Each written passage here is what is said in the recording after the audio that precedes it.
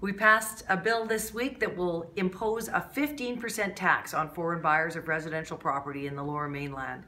And that's because I want to make sure that British Columbians come first when it comes to buying homes in our province. We're number one in the country in economic growth and in job creation.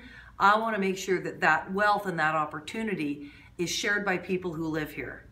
Stay tuned. There's a lot more to do when it comes to keeping housing affordable, and we're on it.